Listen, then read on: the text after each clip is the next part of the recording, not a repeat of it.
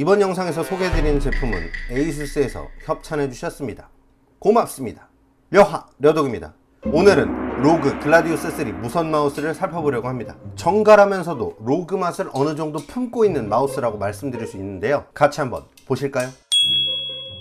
로그 글라디우스 3 무선 마우스는 2021년 5월경에 출시된 제품으로 가격은 샵다나와 최저가 기준 13만 9천원입니다. 로그 감성이 들어가서 그런가 가격은 조금 센 느낌이 듭니다. 외형은 전형적인 8버튼 오른손잡이용 레이아웃인데 좌우 버튼이 분리되는 디자인이나 그 남은 공간을 DPI 버튼으로 활용하는 점 등 절대로 가만히 있지 못하는 점이 로그답다고 느껴집니다. 스크롤 휠이나 마우스 우측편도 시원시원하게 대각선으로 갈아놔서 기하학적인 느낌을 살린 점도 특색 있는 디자인이라고 보여집니다. 반대로 좌측편의 경우 멋진 RGB가 적용되어 있습니다. shell 내부로부터 점등되는 덕분에 일반적으로 볼 수 있는 라인, 면발광 LED와 달리 약간의 공간감이 있다는 점은 굉장히 독특한 요소라고 생각합니다. 좌측면, 우측면 모두 미끄럼 방지 고무 사용 없이 충분한 그립감을 제공해 주는데 또 한 가지의 요소, shell shape 덕분에 더더욱 만족스러울 수 있었던 것 같아요. shell 자체는 길이 126mm, 너비 67mm, 높이 45mm로 전반적으로 약간 긴 편에 허리가 얄쌍한 shell입니다.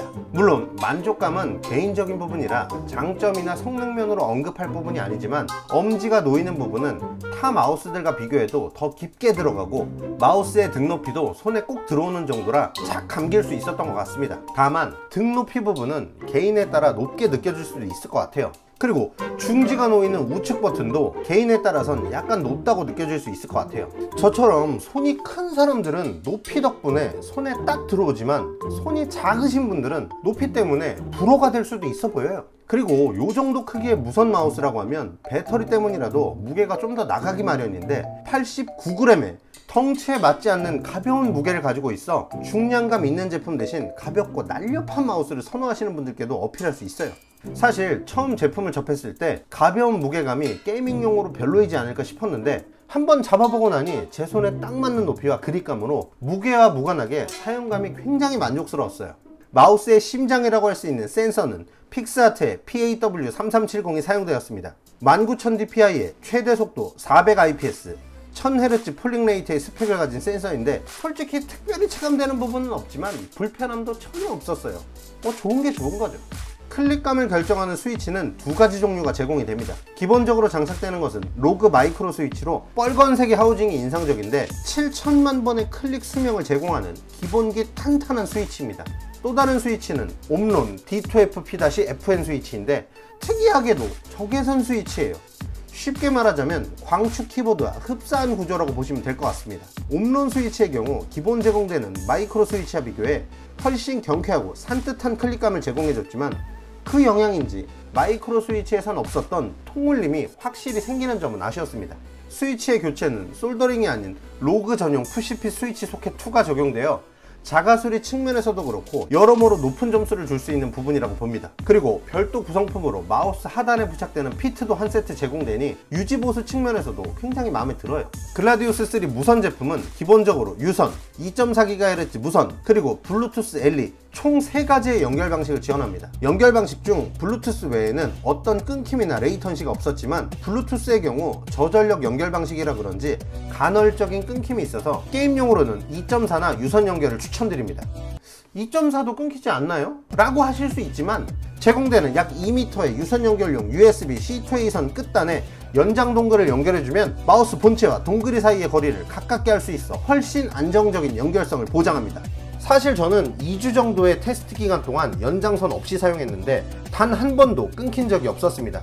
배터리 타임의 경우 2.4GHz 기준 RGB 없이 사용할 때 55시간 RGB를 키고 사용할 경우 31시간을 제공하고 블루투스의 경우 저전력 블루투스 LE 버전이 사용된 만큼 RGB 없이 사용할 때 85시간 RGB를 키고 사용할 때 42시간의 사용시간을 제공합니다.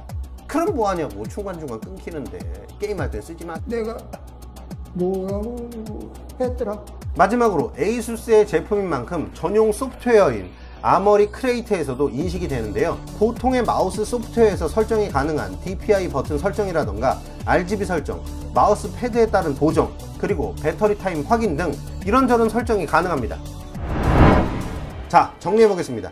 깔끔한 외형에 적절히 섞은 ROG 감성 89g의 가벼운 무게와 적절한 크기의 외부 shell, 2.4 유선, 블루투스로 광범위한 용도에 사용할 수 있고 배터리 타임도 충분, dongle이용 연장선 겸 유선 연결용 케이블도 부드럽고 퀄리티가 좋고 무선 gaming 마우스에 필요한 기본기는 완벽 이상으로 갖춘 마우스예요. 다만 가격이 14만원 정도인데 14만원 되는 마우스 치곤 killing point가 없는 게 좀 아쉬운 정도라고 할 수 있을 것 같아요. 근데 사실 어설프게 특징을 우겨넣느니 이렇게 깔끔하게 딱 떨어지게 만들어주는 게 낫다 싶긴 한데 사람에 따라선 이 정도 금액대에 마음을 휘잡는 눈에 보이는 기능이 없다는 점은 조금 아쉽게 다가올 수도 있을 것 같아요. 그래도 자체 제공되는 스위치가 있어서 요즘 한창 핫한 수리할 수 있는 권리 사실 이것까지 얘기할 필요도 없이 더블 클릭 나서 AS 보내는 경우만 봐도 다른 부분들 말고 가장 중요한 스위치에 문제가 생겼을 때 쉽게 교체가 가능하다는 점 그리고 교체용 스위치도 통울림이라는 호불호 요소가 있긴 하지만